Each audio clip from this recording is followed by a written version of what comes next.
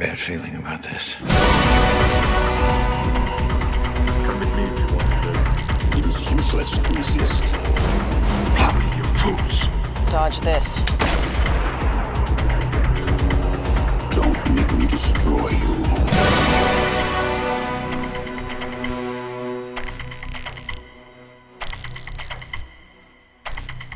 Ved siden av meg så sitter det en veldig, veldig søt homo. Han er nå Altså, øynene hans blinker og skinner som stjerner om natten. og det er ikke bare fordi det er pride. Uh, det er Nei, det er altså det pride også. Ja, det er pride også. Jeg vet, det glemte du nå.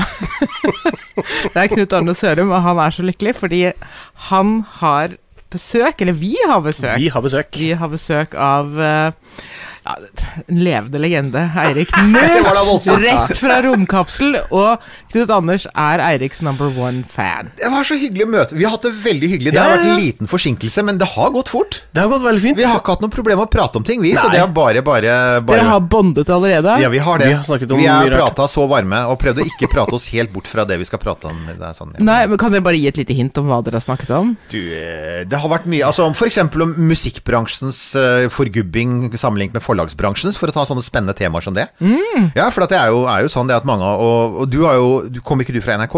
Jo. Og de sliter jo tungt med at det er nesten ingen under 60 som hører på dem, ikke sant? Eh, nei, det er jo ikke Det det. er jo ikke det. Det er Ja, Jeg kan ikke sist huske en ungdom som sa 'jeg liker NRK'. Det må være noe sånn der ironisk retro-ungdom. Ikke sant? Sånn, sånn Nyhyrden eller noe sånt noe. Jeg vet ikke. Det må- Gerhardsen-ungdommen. Ja, Gerhardsen-ungdommen, nemlig.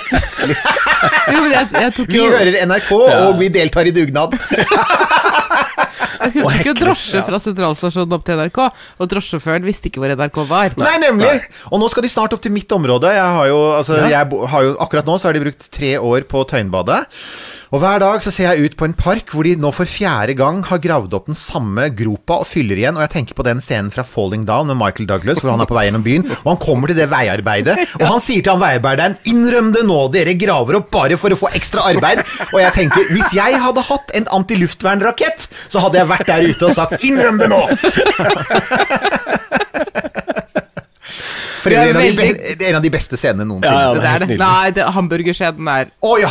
Kan vi bare si at den filmen er helt nydelig? Det. Den, er- den, den så, jeg, det, ikke så lenge siden jeg så den, bare tenkte å, men det, er, det er jo bare Å, herregud. Det er, liksom, og det, er, det er en av de der gamle filmene man kommer tilbake til, så tenker man Hver eneste scene er god. Mm. Jeg kan liksom, det er sånn Det er sånn Die Hard 1. Jo. Sånn, Ja, ja, Jo, jo, men det er det. Hver gang jeg kommer tilbake til den, så er det sånn Og nå var det noe nytt. Jeg hadde jo for et par år siden så hadde den der aha-opplevelsen hvor eh, Bruce sitter på flyet og er stressa, han fyren ved siden av sier ja, men ta av deg skoene, for da så, sånn, og så etterpå sånn ah, ja, det er derfor ja, ja, han er barbeint gjennom hele ah, Det er sånn Å, det er så nydelig. Fists with your toes. Ja, nemlig Fists with your toes. Og etter det så har du gale, blonde terrorister. Veldig Ja. kjekke terrorister, da, men sånn Fra Sverige? Er han ikke svensk? Ja, og tyske og liksom sånn. Ja, tysk. Ja. ja og, så, og så løper de etter han, og så er han barbeint, og de har på seg sko. Og alle har feil skostørrelse, by the way. Ja, de har det. Han, ja, han ene han dreper. Ja. Ja, av alle terrorister jeg måtte drepe, så dreper jeg han som har mindre føtter. Men, men det er sånn perlefilm. Det er bare sånn, sånn, du kan se sånn, det, er, er sånn, det, er, det er ikke ett sted ved å stoppe. Det er, jeg har aldri spolt, for eksempel. For det,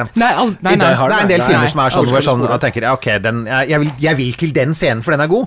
Men jeg kan ikke sette meg ned og se Die Hard 1, eller 4, da, som er min andre favoritt. I just love Ja, nummer fire. Fire? Du Nummer fire. liker nummer fire? Ja, ja, ja. ja Det er eh, ikke Live Free or. Die Hard. Det er med han der um, Timothy Oliphant som skurk. Å, jeg elsker Timothy oh, Oliphant. ja, hvor de, har, hvor de De tar internettet. ned hele huset av Fire Sale. Ja. Ja, og hvor, hvor, og hvor uh, Bruce Willis egenhendig tar ned en F-35 ved å hoppe på den fra en lastebil. Det er så bra! Det er så bra! Det blir jo ikke bedre enn det. Nei, jeg Å, den er så nydelig, den scenen. fra den Ja, nå husker jeg det. Ja. Mm. Ja, I det hele tatt. Men det var kanskje ikke det vi skulle snakke om. Nei, altså, Jo, vi kan snakke om helst, men det er veldig hyggelig at dere har er bondet. Ja, ja, ja. Uh, og dette er da altså uh, Ripley og Dr. Jones. Yes. Verdens minste podkast. Ja. Det er jo det. Uh, det er mirakuløst at det er flere mennesker i studio her enn oss. Vi hadde en livesending her for noen uker siden. Vi hadde det. Ja. Og, og De da to som var der, gikk jo. Ja. Nei. Du kan høre om hele den seansen Det skal jeg i gjøre. Da, uh, vår ok. forrige episode. Okay. Men Ripley er altså selvfølgelig fordi Brite er, identifiserer seg med Ripley fra Alien, og jeg er Dr. Jones som da Indiana Dr. Jones. Dr. Jones. Vi, vi Ja. synger litt i romkapsel, vi, skjønner du. Ja. Det er mest Nils Johan, da. Ja, han har, fått, han har faktisk i siste eh, i på Facebook-sida vår, som er, hvor folk uttaler seg ganske hyppig, så var, jo, var det Elling Borgersrud fra Gatas Parlament som mente at vi burde slutte å synge i podkasten vår. Han er ellers en fan, men så kan dere slutte med all synginga. Så jeg sa det til Nils Johan, og hva gjorde han da? Synge med. The final countdown så, så der, Men ja, Dr. Jones. Men jeg, regner med det er den Dr. Jones. Det er Indiana Jones. Selvfølgelig. Det er bare én Dr. Jones. Den hvem andre? Og- Eller det var jo to av noen, da. Far og sønn. Begge heter jo Dr. Jones. Det gjorde det jo. Ja. Junior og Ja. Altså, jeg, jeg liker Indiana Jones, men, jeg, men, men, men Alien jeg, Sina, si Den har en egen plass i mitt hjerte. Absolutt. Men Det- hvis du skulle vært uh, Hvis du skulle hatt et eh, alias i, i oh, denne podkasten I denne podkasten ville jeg ville, ville skapt litt forvirring, så ville jeg sagt Jonesy, for det er katten i Alien. For som jeg sier, jeg skal, jeg skal se, jeg skal se Lightyear-filmen kun pga. Robotkatten. Og selvfølgelig, nå må vi støtte den, Fordi at nå har jo eh, Du så jo det hadde jo vært opprør blant eh, Tror du det er farlig at hunden min akkurat forsøkte å spise en maurlokkeboks? Eh, Han kom ikke inn der. Nei, det går sikkert bra. Det går bra.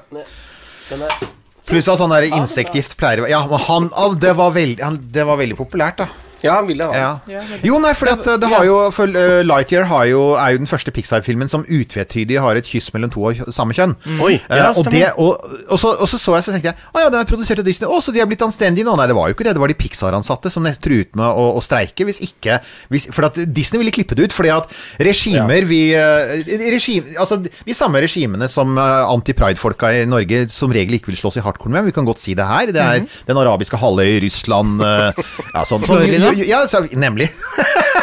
Men det De var er- gøy med, med Dumbledore, siste Dumbledore-filmen, at eh, det, hele filmen må faktisk klippes Altså, du må klippe bort 40 minutter. Hvis den skal vises i Kina, for eksempel, eller Ja. Russland. Men vi, skal, så, så vi må rett og slett gå og se, så folkens, vi må se Lighter for dette unike kysset. Eh, og så, Det var en veldig god artikkel i Variety som jeg leste nå i stad, før jeg kom hit. For jeg tenkte, men Det var interessant, for det var sånn hvor, hvor lenge man i Pixar For Pixar er kvalitetsfolk, det veit vi. De har de beste manusene, den beste animasjonen. Har laget de, de beste animerte filmene eh, de siste 30 åra, liksom. Og, og de har jo vært klar over dette lenge. De har vært klar over at det har vært Mens man har begynt å få liksom fiksa på etnisitetsgreia så har man helt klart ikke klart å fikse kjønnsmangfoldet. Og, det, og derfor så, Det var jo derfor alle heiv seg over Luca og sa ah, ja, men det er en film om, om, om eh, transisjon. ikke sant? Som for så vidt er sant, men det er også en historie. Det viser seg da at eh, i Pixar så sier man at ja, men det handler også om at, um, at de, altså, vennskapet mellom disse to guttene er veldig, veldig tett. Eh, og, og de har da, så det er da av enkelte blitt tolket som at det var liksom kanskje mer tett enn en bare et vennskap. Kanskje, men derfor så var de ekstra happy når de endelig fikk lov til å si det rett ut. da Det ikke var sånn Ja, langt baki så er det to fisker som På, på Nemo så er det to fisker som henger sammen, som visstnok er damer. Ja, sant? Men Og så er, det selvfølgelig, så er det selvfølgelig det at den, den, f- sånn, den følelsen du har at når de først skulle gjøre det, så måtte det selvfølgelig være to damer som kysset hverandre. Ja, ja, ja, ja, det Eh, er to menn tryggere, er det. vi, vi, vi kommer tilbake om 20 år. Da kommer en Pixar-film hvor det skjer. Men da er vi i gang, i hvert fall. Ja. Og Det forente arabiske emiratet vil ikke vise den. Ok, fine. ja, det var jo mye, mye trøbbel med den eh, Beauty and the Beast også, skjønte jeg. For da var det noe Altså Hun ville, Et kyss. Beauty ville ha seg førerkort, eller? hva Var det? Ok, la oss komme oss vekk. La oss komme til poenget! Ja, oss komme Hva til min, poenget. my bad!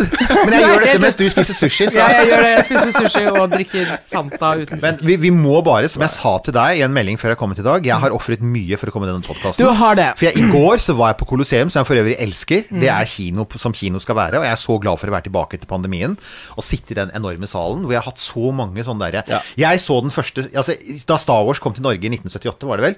Jeg satt der sammen med, med pappa, husker jeg, og vi bare så liksom Når, det, når den digre eh, kommer fu- det, Og ser det i Colosseum, ikke sant? Og det var da pappa fortalte meg om alle de som hadde sett um, tilbake på 1960-tallet, alle vennene hans som hadde sett 2001, en romodyssé, sluttscenen, uh, høye på LSD. Var, altså, ja, de hadde hørt at det var en tripp, så de skulle bare øke på trippen. Det var sånn «Ah!» På slutten? Wow! Ja, ja. Sitte på første rad på Colosseum og se sluttscenen. Ja, det var visstnok ganske vilt. Men, uh, men det, var utrolig, det er utrolig fint å være tilbake i Colosseum, og så var det uh, Ja, hva skal vi si? Det var uh, den siste Jurassic Park-filmen, 'Gresshopper'. Ok, vi skal ta det tvert, Eirik. Jeg må Ja. bare dele min Colosseum-opplevelse. Ja. Fordi jeg så Aliens i 70 millimeter på Colosseum. Oh. Oh my god. Det var altså ja, det Da jobbet jeg riktignok på et uh, tekstlaboratorium, så vi hadde tekstet Aliens uh, før det, så jeg hadde jo sett den en del ganger, Mm. men da bare på en bitte liten sånn visningsskjerm og, Mm. og sånn. Men det å se altså 70 millimeter på Colosseum, ja, det var altså Det var helt avsindig. Ja. Altså, jeg sånn ropte. Ropte høyt, reiste Ja, men den meg og sånn. Oi, oi, oi. Det er jo en av de aller beste oppfølgerne. Det er jo det, Er den beste? Den er, ja, det er, det, det er litt sånn Terminator 2 syns jeg også er helt nydelig. Men ja, jeg, kan, jeg ser det. Jeg, jeg ser det. Det var sist Ja. jeg var på uh, Colosseum. Jeg var faktisk Terminator 2 her for uh, noen måneder siden. Å ja, har den blitt, den igjen? Den ble igjen? sendt uh, remastera og Jeg fortalte det, har jeg ikke det?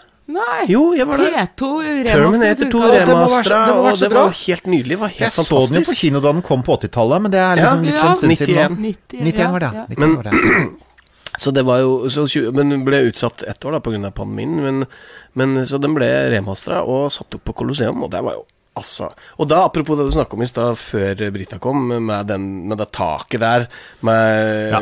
grafikk da, Det er noen, en gjeng da, som har lagd grafikk over hele taket. Ja, det- kun for det- den kvelden. Ja, og den, den, den Altså, sånn, de bruker yes. lyden rent fysisk. Altså, Lydanlegget er så kraftig at i, i går var det også sånn at noen av de mest sånn bråkete scenene, så er, det, så er det ikke egentlig sånn at du kjenner det så mye der som du faktisk altså opp ved ørene, som du faktisk kjenner i Kjenner i hele kroppen. Og det er utrolig deilig. Jo, men det er liksom. flott. Det er en deilig. følelse. Og det er sånn Og, da, og, det var sånn Det er litt sånn maktdemonstrasjon. Det er når kino sier sånn Gjør dette her, du, i den der kjellerstua di på Jessheim, liksom. Gjør dette, du! Sånn.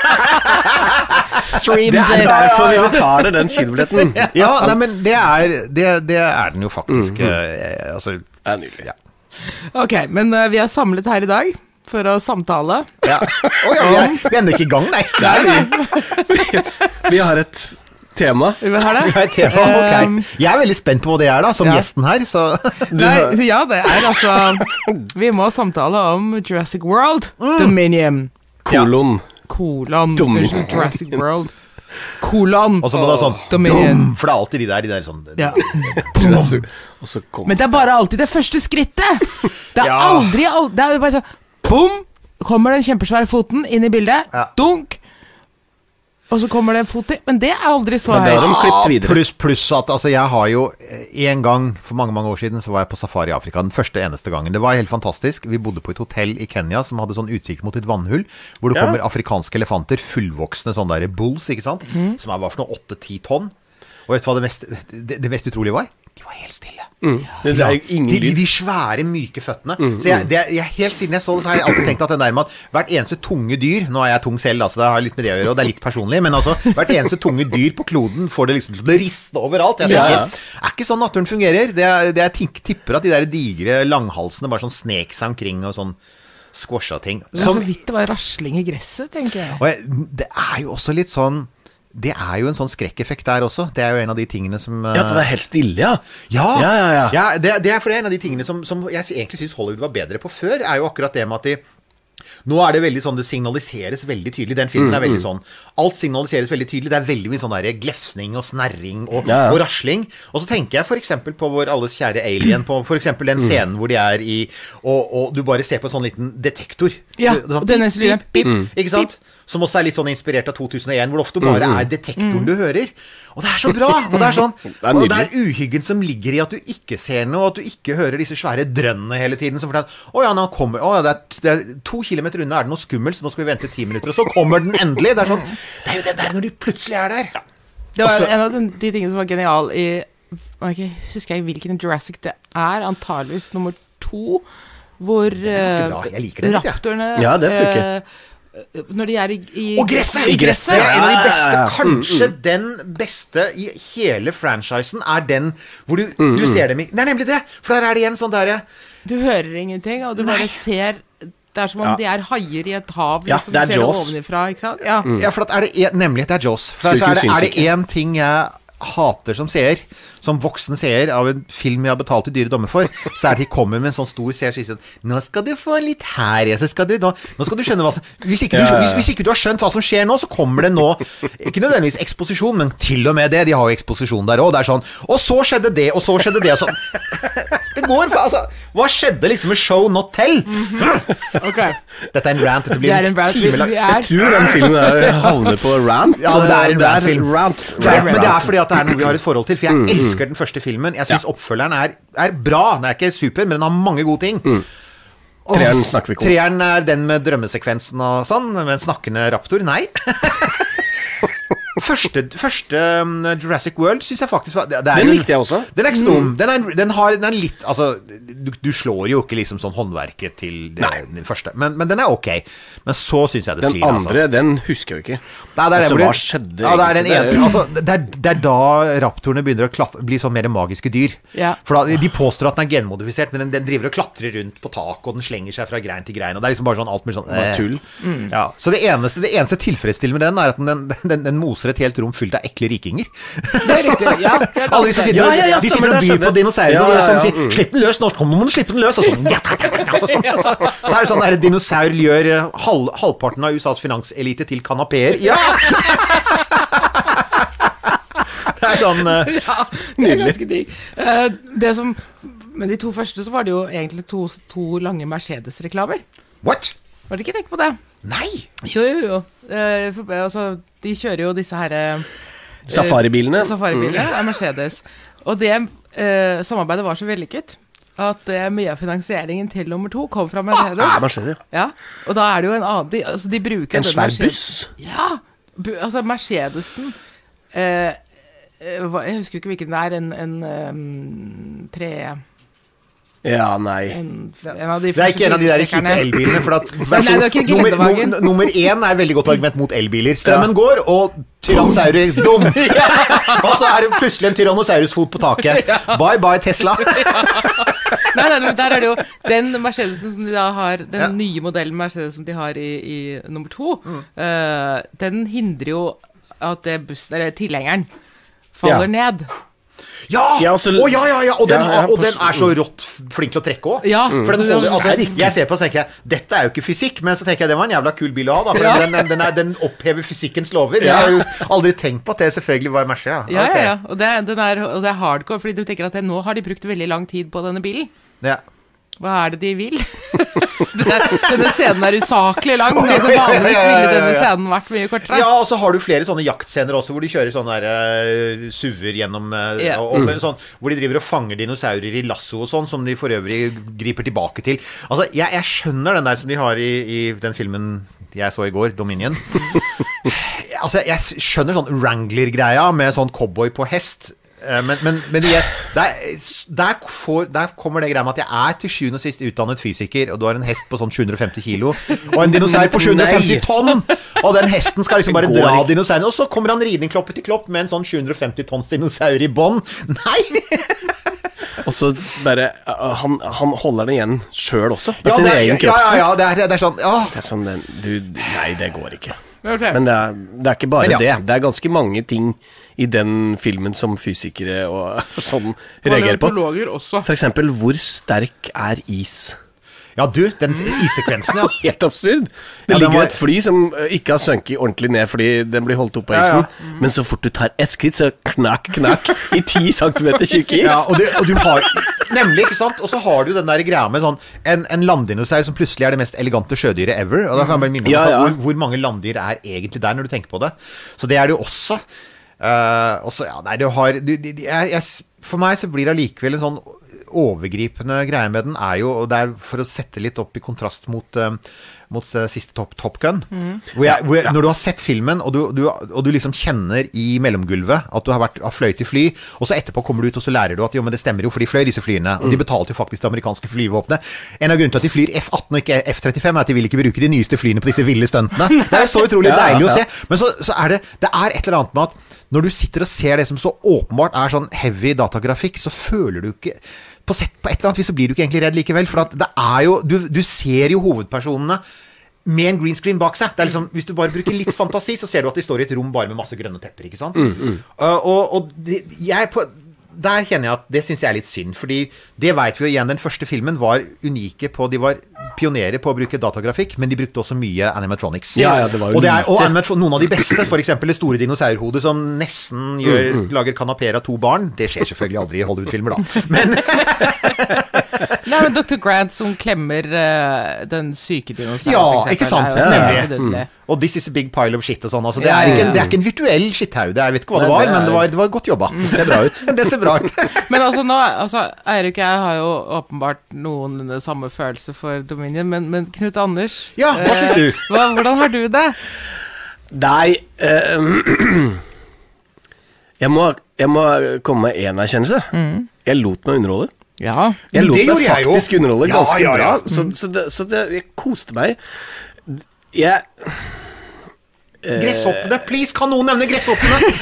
Altså, plottet, Gresshoppene Ja, plottet, alt det var Det var altså sånn derre det det kunne altså nok en gang litt sånn der Dette kunne vært så innmari bra. Her bruker vi så sinnssykt mye penger. Og, og, Det er akkurat det. Skriv et ordentlig manus. Det er så mange men ting som kunne på vært det, manuset. bra. Er det lov Ja. å si det? At, altså, noen ganger så tenker du Jeg skjønner hvor de vil hen, for de vil føre sammen de fra den gamle serien og den nye. Det er Mm. Ja. alltid kult. Jo, men det er alltid Men gjør det ordentlig. det er, alltid, det er sånn som de gjør i, i Star Wars også, ikke der, altså. Jo, ja. Laura Dern og Sandy. Altså, vær så snill. Nei, men, det altså, men det er jo også noe med sånn Hvis du først skal føre sammen det gamle universet og det nye, så gjør det på en litt mer elegant måte.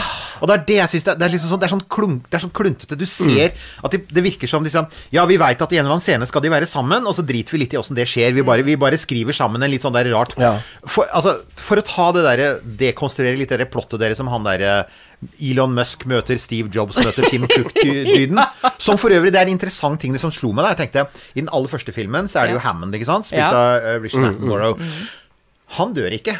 Han blir stående igjen som en sånn slags helt, som en, som en milliardær som har gjort noen feil, men han overlever. Det er jo, det er jo Nedry, han derre som er Ja, han ja, ja. Mm. ja, ja. Men i denne filmen her så er det jo faktisk milliardæren som blir drept. Og det slår meg at altså, det har vi også sett i, i altså, altså, Don't Look Up. Don't- altså, i, i, i, i tidligere filmer, altså på, på, tilbake på sånn type 90-tallet, ser du også f.eks. i Kontakt, der er milliardæren en helt. Nå har vi kommet dit at nå vil vi helst at de skal dø, gjerne bli spist som kanapeer på en auksjon. Og jeg syns det er en interessant skifte. Ja, for at du, du veit veldig tydelig du er, Jeg var helt sikker på fra liksom Når jeg ser han dukke opp, så tenker jeg du er, så, du er dinosaursnacks. Det er bare sånn munch, munch, ikke sant? Men, men det er noe sånn Men igjen den der følelsen av å, å ha et sånn skikkelig kluntete manus, alle disse ressursene, og så et sånn litt usedvanlig kluntete manus. For at du, du, tar, du tar sånn skohorn, så tar du igjen Ja, den derre biosyn uh, Da er det spoilervarsel, men det antar jeg at alle skjønner at det Ja, er det. Ikke sant? vi spoiler. Det spoiler. Eh, og hvor du da eh, Som er sånn de, de står, Det er en scene hvor Laura Dern sier altså ja, Har dere lagt merke til det? De spiser bare De spiser bare mais som ikke er genmodifisert av biosyn. Så er det sånn Ja, og Laura Dern, tror du, at, tror du at du er den eneste i hele verden som ville lagt merke til det? Du tror ikke Ja, det vil stå nei. 500 instagrammere og legge ut videoer og tiktokere og si 'Har dere sett her?' Det er bare altså, du, du tror ikke at hele PETA og WWF og, og, og Miljøpartiet De Grønne og alle ville stått der og filmet sånn 'Se på dette!' Og det er, det er Hele premisset ble jo det er feil. sloppy. Og Ja, ja, ja. Jeg, jeg merker at jeg er ikke manuskribent selv, men jeg er tidligere forfatter. Jeg kan si jeg blir irritert over sånn sloppy writing. Dette Mm. her er sånn derre uh, Ikke sant En, en, en, ja, en kamel er en hest designet av en komité. Ikke sant? Det er litt den følelsen du har. Mm. Jeg har tenkt på det um, i forhold til um, Altså, nå var jo de i hvert fall, ja, de to første var jo basert på uh, Crichtons bøker. Og de er bra, forresten, for jeg, jeg leste Ja. jo bøkene først, er som den nerden jeg er. Ja. Så tenkte jeg å, det kom til en film basert på boka. og den var bra. Ja. Uh, og nå problemet er jo selvfølgelig at alt etterpå er jo, er jo bare Altså, det er jo en theme ride. Ja. Men det er helt i orden. Det er helt fint at det er det. Jeg, Bare det er jeg- jeg- fagmessig bra. Ja, jeg, ja. men altså Å ødelegge et univers, og så ta tilbake igjen Laura Dern og Sam Neill inn i dette Altså Jeff Goldblum dukker opp, det er jo for så vidt helt greit, Fordi han har jo hora litt i disse her filmene med jevne mellomrom. Og jobben hans er jo Han Han var jo- lyslyset i den filmen. Ja, men altså, han er jo. Han har jo han har filmens eneste minneverdige setning. You made a promise to a dinosaur. De har det jo trailer nå. Den er så bra! Men han sier også Og altså, det er måten han sier det på. Ja, ja, ja. Han spiller jo alltid seg selv, men ok. Og så sier han også I hate Jurassic World. Ja, han gjør det! Han gjør det, det er så nydelig. Det er så Jurassic World, nydelig. I hate Jurassic World. Altså, han, men, han, men det er der du kommer til et punkt hvor du, du har sett det i en del filmer de senere årene, hvor du, du begynner å lure på om de liksom They're, they're sånn taking the mickey, fordi at de har karakterer i filmen som sier det samme som du egentlig sitter og føler som publikum. Så jeg sier, ja, men Ja, dette, det er dette, meta, dette det er bare tull. Ja. Dette er sånn du bryter den fjerde veggen og alt det der. Ja, Ja, men det er, det, det er litt det han gjør, hvor han egentlig står og sier det veldig, men han sitter og tenker at dette her er bare Og han får lov fordi han er Jeff Goldblum. Ja. Men sånn Så var det det også. den, det, er, altså, det var, siste Matrix-filmen var jo også sånn, hvor de refererer til seg selv og Hele altså, tiden. Altså, hele tiden. Hvor det er sånn Ok, vi vet at dere savner eh, 1999. det gjør vi òg, Ja, ja, ja. ikke sant? Eller dere savner 1985 med, med Top Gun eller hva det måtte være. Vi gjør det også. Det er jo bare sånn. Så Kina er jo åpenbart nå bare for oss som var gamle nok til å gå på kino i gamle dager. Det var litt fascinerende det med å gå og se Top Gun og se hvor mange som var på min alder, som, som jo kommer ut av kinoen og snakker om hvordan den første opplevelsen var, og hvor bra det nye var. Ja. Men det jeg tenker da, er eh, Men det gjør man ikke om denne. Nei. Og det er klart en enorm fordel du har med Top Gun, var at det aldri ble en franchise. Det er film nummer to. Ikke Ja. sant? Og, og da, da tenker jeg eller, eller ble det laget en Nei, det ble ikke laget en Nei. oppfølger. Nei. Nei. Nei, og, og, Det ble laget mange kopier. Det ble laget mange kopier. Og så tenker jeg at, at vi har sett veldig mye franchises, ikke sant? Vi har sett uh, vi har, Det verste eksempelet er jo utvilsomt Vi har jo allerede nevnt det før du kom her, men det er Star Wars. Hele, ja, hele det Som, som dessverre, ikke sant? Ja, mm. Og, og Star Trek ble det, ikke sant? Og, og, og Die Hard ble det. Og, Mm. så begynner jeg å tenke om Matrix, og så begynner jeg å tenke Fins det fin, Og Terminator, selvfølgelig. Fins det en god Fins det en som stort sett holdt seg sånn gjennom tre, fire, fem filmer? En, en franchise som bare For at du ser det nesten alltid skjer. Til og med Indiana Jones ble jo ødelagt. Eh, t- Temple of Nei, den Nei, der den Crystal fjerde Skull. Crystal Skull. Yeah, yeah, yeah. It's aliens! Og jeg, jeg gråt. Ja, det var Ja, vondt. Ja, Mine modige tårer. Altså, den er altså, det tok et år før jeg aksepterte det. ja, er det noen som har overlevd mer enn tre, er jo poenget. Ha, har det det? det dette dette veit ikke jeg nok om. Men jeg bare, alt jeg kan Ja, huske, nå er at. Alien. ja, Jeg har jo nettopp sagt at uh, Nei, det er jo ikke det. Alien er jo bare to. Det er jo en, Nei, en og to er den nydelige. Treeren, da er det sånn Nei, er jo Ja, nemlig. Der Er ser du. Der. Nemlig. Gudfaren. Ja, vet Men du kan man kalle det franchise? Nei, det er ikke en franchise. det Det er er det er en en liksom. Sier du at nummer tre er bra, liksom? Nei, altså, jeg bare spør. Jeg bare, Jeg bare, jeg bare ut må si at jeg så Gudfaren 1 igjen for noen måneder siden, og det var sånn der igjen. Det var sånn Å, shit, det er for en perle. Ja, Det er hver eneste lille scene, hver eneste lille, hvert eneste lille setning. Og så ble jeg Den er 50 år i år, bare sånn at du vet det. Og så ble jeg sittende og høre på eksempel den, den bryllupsscenen på åpningen. Mm. Hør på musikken. Det er så nydelig Det er så nydelig bruk av musikk gjennom hele. Hvordan musikken dempes, skrur av, du går inn i rommet, du hører den fjernt, og så, og så kobles du rett på den igjen, og så er du ute. Det er så nydelig. Det er bare sånn åh, Det er jo bare Det er sånn det skal være. Det er sånn Det er en perfekt film. Mm. Nummer to er, er helt klart også bra. Nummer tre husker jeg ikke så mye av. Nei, men det er det der med franchise-greia at de så ofte blir dårlige, så tjener de penger på det, og så ender de opp med å bare fortsette å produsere Ja. produsere. Og så, så kjenner jeg litt på at jeg, jeg, På en måte så kjenner jeg nesten litt på litt sorg også, fordi at jeg ser jo, jeg ser jo igjen disse, som disse gamle skuespillerne, for de er blitt, blitt gode gamle nå. eh, i, I filmen jeg så i går, Jurassic eh, Dominion. Og så ser jeg, tenker jeg jeg skulle ønske at jeg kunne fått hatt den første For jeg ser fremdeles den første filmen. Den er jo, Ja, ja. Den er jo like god. Ja, ja, den er like Fantastisk. god. Og den, er, den igjen, eh, jeg glemmer aldri altså, Den er jo ikke den samme uten Wayne Knight, da, som Nedry. som, som er den, den onde hackeren. Ja. Og så, men der har du igjen den derre eh, En av disse scenene fra den første er sånn Oh, uh, this is a unique system. I can do this. Altså hun derre Ja, sånn, barnebarnet som da Ja. selvfølgelig var selvsagt De gjorde jo denne her òg, men det var jo så mye dårligere gjort. Fordi igjen, det er ikke Steven Spielberg, det er ikke gjort Nei. med liksom sånn litt glimt i øyet, og dessuten fokusert. Der, er, altså Istedenfor at det er én skjerm og én jente som kjemper mot klokka, med raptor utenfor døra, så er det 800 forskjellige ting. De bare, og det er brennende gresshopper, og det er langhalser, og 50 raptorer, og to av dem er venner. Det må du ikke glemme. To er snille. Ja, ja, Og så er det alle de slemme som, som skyter, de skyter på deg med laser. Folkens, det er helt sant. Det er noen laserraptorer. And I don't get Hva i all verden er laserraptorer? Jeg ba ikke om laserraptorer, jeg ba bare om en sånn kosestund med dinosaurer som spiser mennesker.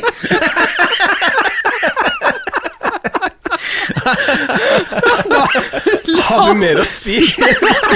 Si laserraptor på grensen, liksom. Ja, men det, som, det som er slående, da, er jo at det, eh, det Spielberg alltid gjør, og som gjør at han er, er min gud, er jo at det, Han er jo det. han Ja. ehm, Det er eh, undring, altså forundringen, begeistringen, gleden Ja, ja. som han klarer å formidle.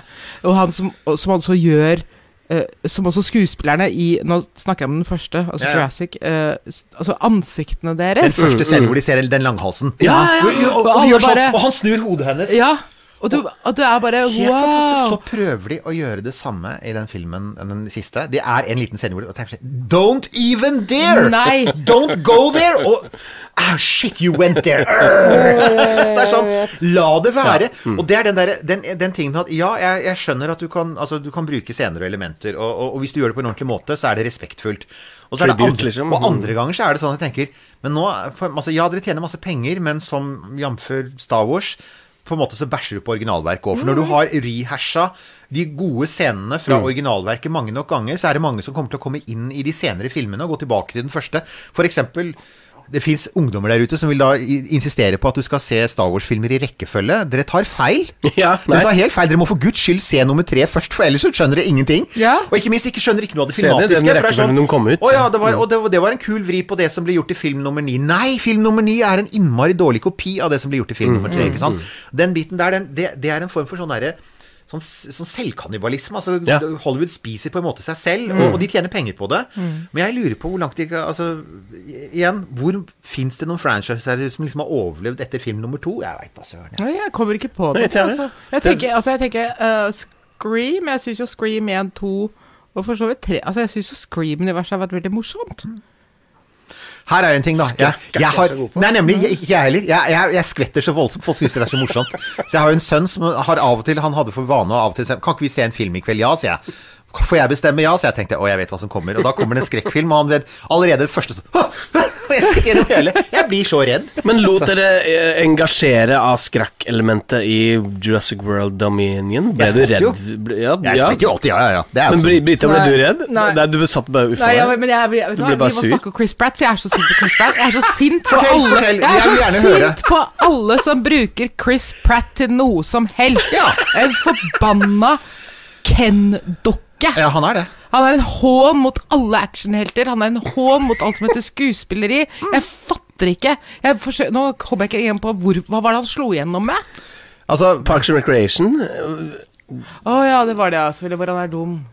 ja, altså Ja, hvor han er ganske dum. Ja, Og det er Og så er det jo også selvfølgelig uh, Guardians of the Galaxy, Ja, det er det også. som er veldig morsomt. Ja, der, der spiller han på sine humoristiske sider. Men jeg er helt enig. Altså, han er pen og i god form, så jeg hater han jo.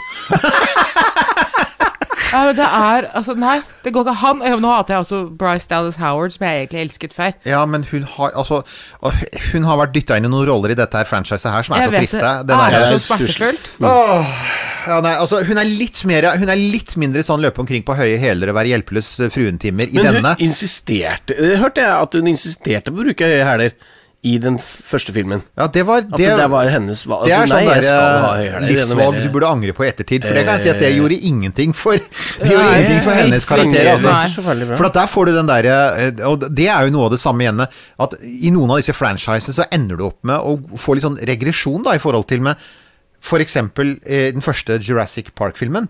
Ja, så har du en kvinnelig paleontolog. Ja. Og hun er kul, og hun er handlekraftig. Ja. Og det er bare en Altså igjen, det er et godt manus, det er en god bok. Jeg mener å huske at hun er med i boka også. Så det er et, det er et godt manus, det er eh, basert på en god bok, og, og det føles helt naturlig. Det er ikke påklistra. Det er ikke sånn at vi må ha med representere Nei, hun har jo på seg praktiske klær. og hun har på seg praktiske klær, ikke sant? Det er nemlig det. Og så, og så, og så, safari med og så- så kommer du på den første Jurassic World-filmen, og så er det sånn Wow, hvordan endte vi her? Jeg trodde Skulle ikke vi liksom ha gått framover? Skulle ikke vi nå ha en, en type karakter som hadde utviklet seg videre? For det har man sett i, i For egentlig så har jo da arbeidslivet gått mye mer i den retningen. Ja, ja. Så du har langt flere handlekraftige damer i normale klær i arbeidslivet enn du hadde for 30 år siden.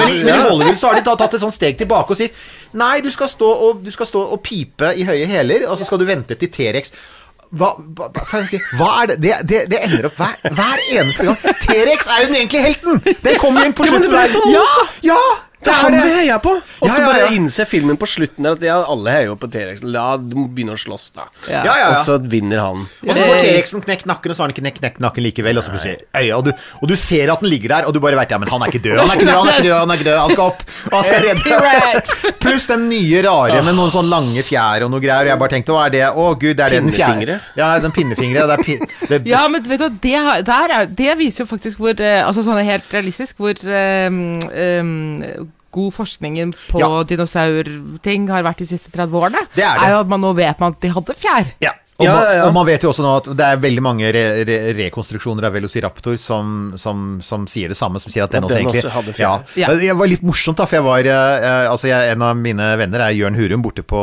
paleontologisk. eh, borte på, de har nettopp fått eh, De har nettopp pussa opp, så hvis dere har lyst til å se ekte dinosaurfolk, eller dinosaurskjeletter, Ja. så gå på museene på Tøyen. Fantastisk bra utstilling. Fire nye etasjer. Alt er flunkende nytt.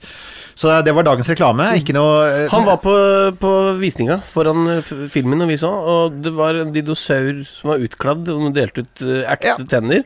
Og jeg, Det var veldig kan, gøy. jeg kan si at altså, like gøy som film. Jørn, Ja, det er enda gøyere enn filmen, faktisk. Vi er mens vi var der, så møtte vi en av Jørns fans. Altså Vi som holder på med naturfag, har jo da noen unge fans, og de er alle sammen litt introverte, tror jeg vi kan si. Ja. På den introverte delen av spekteret. Ja. Men han kan altså, men, altså, Akkurat som mine fans kan hvert eneste navn på hver eneste stjerne der ute, så kunne han hver eneste knokkel i hver eneste dinosaur. Og var, hadde en veldig god nedsabling av dinosaurene i denne filmen her, så det er bra å vite. så, så fagfolket, da blant annet representert ved veldig nerdete 14-åringer, de kan bekrefte at dinosaurmessig holder det ikke mål, og det er vel noe med at de har valgt å beholde eh, de viktigste dinosaurene hårløse og fjærløse, selv om vi nå etter hvert veit at også T-rex faktisk kan ha hatt litt mer sånn litt pels her og der. brun, liksom. Ja, og, For at det skulle ligne på 93-versjonen. ja, for at vi ikke skal miste det. Men det er da jeg også tenker at nå begynner det å bli så lenge siden at de egentlig ikke hadde gjort noe. Og de, kunne, de hadde jo til og med Altså, herregud, de kan altså skape gresshopper på størrelse med katter. Det er lov å si at de kan, de kan generere, jeg må bare si det, gresshopper på størrelse med katter. Hallo. Som ikke dør av ild, som bare fortsetter å fly Ja, det var den andre ting. Ja, de fløy så lenge. Hvorfor, hvorfor dør de ikke av Vampyrgresshopper. Ja, Eller sånn, Jeg begynte å lure på Har de, er de genmodifisert til å tåle ild? Til å bare Ja, pluss at som alle påpeker, at du må tilbake til sånn karbontiden med sånn 30-40% oksygen i atmosfæren for å ha så store insekter. For da hadde du sånn der, Ja, ja, ja, da hadde du skolopendere som målte tre meter og sånn, og, og øyenstikkere som kunne ha En øyestikker, kunne være en meter. Ikke sant? Liksom, den, kunne, den kunne tatt liksom morse her og løfta Ja. den av gårde. Ja. Men, det, men, de, men det er jo ikke nå. Så det er jo helt, det er jo helt Det på trynet. Det går ikke. Så uh, nei, det er Men det er ganske mye i den filmen som ikke går. Nei, men, men, Nei, okay, så vi kan, nei, så vi kan ikke disse den på det, men la oss disse den på det den faktisk på- leverer, da. Nemlig, la oss disse den på at den ikke klarer å skape et konsist selvkonsistent univers. for Nei. jeg har ikke noe problem med det opprinnelige Jurassic Park-universet og film nummer to. Med San Diego. Vi, I podkasten vår snakker vi for øvrig om San Diego. Og så, så sier da Nils Johan da, sier Ja, nei, San Diego er en kul by. Jeg sier det eneste minnet jeg har av San Diego, er fra, fra, fra Jurassic Park 2, der dinosaurene løper løpsk i San Diego. ja, ja, ja. Det er veldig morsomt! Ja, det er det. Uh, men det er, det, det er dette her at det uh, Den første Altså Jurassic, Spielberg og Crichton hadde jo Ja. laget et univers hvor de fulgte sine egne regler. Yes. Ja. Uh, og at det Hammond var eh, en kompleks figur. Altså, han ville Ja. vel, men eksperimentet feilet. Ja. Eh, og så kan man jo se, det er som du sier, milliardærene eller de som da vil eksperimentere. Man kan se hvem det er som spiller dem, om de kommer til å være onde eller ikke. Ja. Altså, Attenberg vil jo aldri være slem. Han ville aldri tatt den rollen. Nei, nei. Og, og, og John Hurt i Contact er nyansert nok til å liksom Han er Det er sånn som han lille gutten i, i Last Action Hero med Arnold Schwarzenegger. He killed Ja. Mozart. Det He's ja. evil. Ja, ja, ja. samme. he's evil, ja. ja. Og du vet at det er Campbell Scott Evil. Ja. Ja. Ja. Ikke noen nyanser der i det hele der Så hele tatt. casten avslører casten på forhånd signaliserer hvor forutsigbar mm, mm. Men, men, men, men det som du sier med å bryte sine egne regler, tror jeg er, det er nøkkelgreia her. Med at du ganske tidlig inn i filmen så tenker du 'Å, det er fint, og der er de tilbake'. Og så begynner du å se at eh, det begynner, altså det blir, En ting er selve plottet blir irrasjonelt, og det har ikke noe med sånn om det er vitenskapelig riktig å gjøre. Som sagt den der med at å, de spiser bare biosyn mm. De lar biosyngreiene være. Og alle kan se det, og ingen reagerer på det. Sånne ting. Men også at um, han der, um, han forskeren som skaper dinosaurene, som plutselig får litt sånn redemption redemption uh, Han er jo Jeg husker ikke hva han heter, men han er jo med i alle Dr. filmene. Henry Wu. Ja, Henry, Wu. han er jo med i alle, ikke sant? BD, BD Wong. Ja, ikke sant? Han er med, og, og, og han er med der, og, og, og han går av fra å være altså For tross alt så er han en ganske Altså, Han har vært med å gjøre denne dritten i 30 år, han ifølge filmens eget univers. Og så på slutten så er han plutselig litt sånn, litt sånn eldre fyr som får en sånn eh, fatle og skal tas litt vare på, for han skal redde jorden og sånn. Og, sånn. og så får du eksposisjon på slutten og sier at han reddet jorden, og så tenker jeg sånn Altså, det er igjen noe med disse reglene som sier De, de har satt opp noen regler i, i episode én. Så setter de opp noen regler, og, og de holder seg innmari godt innenfor. Den filmen er tight. Den er sånn Ja, ja. ja, det er igjen, Du kan se hver eneste scene og tenker Å ja, ikke sant. Scenen der, der igjen Jeg, jeg digger eh, Nedry. Han er så god. Han er, Ja. han er en Ja, ja, ja. deilig skurk. Der hvor han kjører feil, for eksempel, Ja, ja. sant? og han får panikk. Og det er så helt, det er sånn, Hver eneste lille, lille ting han gjør der, verdt å se. ikke sant? Og så, i, i, i film to, så ser du at jo, de er fremdeles sånn rimelig on track, men du begynner å få litt sånn Da har du en, nok en sånn milliardær som Han blir jo, han blir jo faktisk drept, han. Så der, der er du allerede i gang med å drepe milliardærer, så det skal de ha. De var pionerer på å drepe milliardærer. altså, men så er det du liksom bare ser, så sklir de lenger og lenger og lenger unna. Og, og det er det der med å, å bryte sine egne regler som i hvert fall irriterer meg. For jeg tenker at jeg, jeg forventer ikke at de skal forholde seg til de masse ytre reglene i universet. Men når du har laget ditt eget lille, tross alt ganske oversiktlig univers Det er ikke veldig vanskelig. Det er dinosaurer på jorda, og hva skjer? Så, så, og så må de likevel bryte den. Da tenker jeg, da, da, blir, da blir jeg det, det dårlige håndverket irriterer meg. For at det er mulig. Du sitter og tenker ja, men dette hadde vært mulig å løse på en annen måte. Og, og la de gamle heltene og de nye møtes. Det er fint. Det, er, det kan bli en fin scene. Det er en ganske rørende scene, om du vil.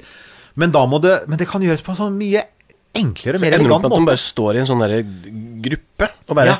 Nå, må, nå er vi, nå er vi sju-åtte personer, eh, hovedpersoner, ja, inn, i, inn i bildet her. Så nå må vi bare Det stå såpass tett at vi får alle inn i, et, Og, og, eh, og, i en frame. Og husk for Guds skyld Mens dinosauren går forbi. Nemlig, og husk for Guds skyld at det er et barn der som absolutt ikke skal dø, for det er en, en amerikansk Ja, ja, underholdningsfilm. Så du, sånn Å ja, forresten, barnet! Hvor ble det av barnet? Å ja, nå redder vi barnet, ikke sant?